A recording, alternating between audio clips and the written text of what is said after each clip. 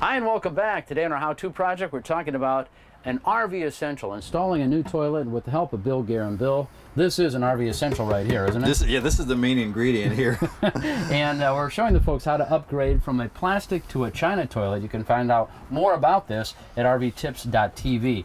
And we want to show them the essentials or the components here of our project, starting out with this guy right here, which is uh, uh, a product from Dometic, isn't it? right. This is, of course, the main ingredient here. You can see this is a China toilet.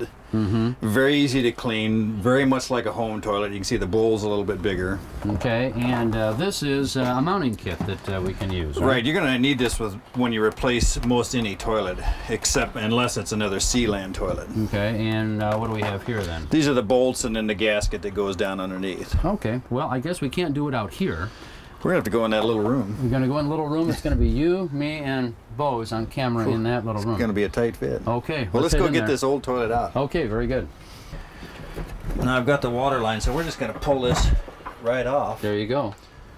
I'll take that. If you want to take that and move it out of the way, Here's the old toilet right here. I'll keep it with me in the shower. you might need it. you never know. All right, now what are we looking at Well, here? next thing we're going to do, we're just going to discard the bolts that came with it. Okay, these are the old ones. I don't need those anymore. Now we're not going to need those. We're going to put down the new ones. Okay. Now, the, one of the problems that you may run into, we're going to have to modify this water line because it's obviously in a different location.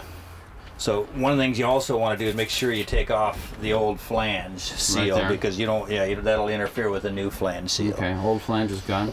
Right. So right now we're going to have to cut this water line and modify it a little bit because they come out over on a different side. As you can see, I've put the water line in part of the way. Some of it's on the toilet. It's kind of a real tight fit here, so we're going to leave this like it is. Mm-hmm. Right now we're going to install this universal mounting kit. So this piece goes down here. One of the things you're going to need to do is put sealer under it, so you want to make sure this is dry. Now I'm going to put the sealer all around here. Don't be afraid to use plenty of it. Use plenty of sealer. Use plenty of it.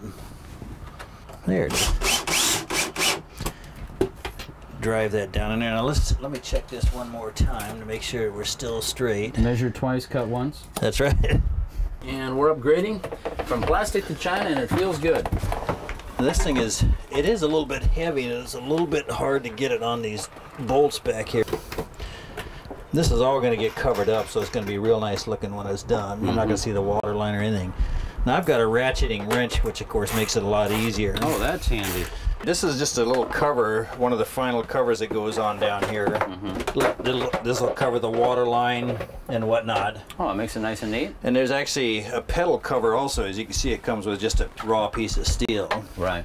So it's got to go on there, and then that covers, that finish trims that off real nice. Sure. And this is your water saver here that comes with, it's an option, so it doesn't come with all the models. Right. Very handy to have. I'd recommend it any time. Terrific. Well, I guess that's a wrap on this one. And did you want to model it, or maybe the customer should? Well, you know what? Maybe we have the customer come do that. Good job, Bill.